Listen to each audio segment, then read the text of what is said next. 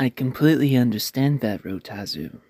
Now then, how exactly do we plan to do this, Doctor? Yes, Cinder? What is it? A drug infused bullet? Hmm, that sounds like a perfect cover for to give him the drug. I think my mother could help us with that, Cinder. Yeah, she could help us send some Grim.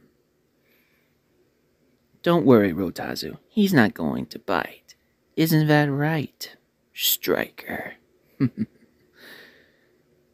I think you're going to like this one, Striker. It's something very special for this plan. Perfect. Now phase two is about to begin. Striker, are you ready? Indeed. And now let's head back. It's time we start planning phase three. Come along.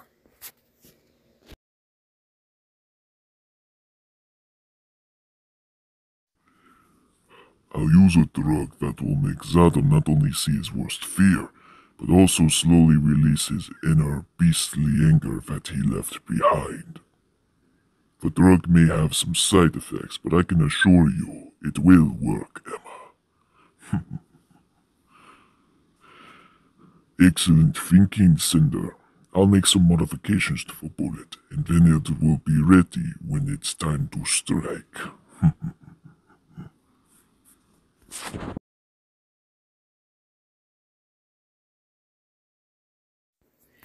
He's standing right here, little raven. Now, what is it that you need me for, exactly? Oh, tell me more, hyena. Yes, I'm fucking ready.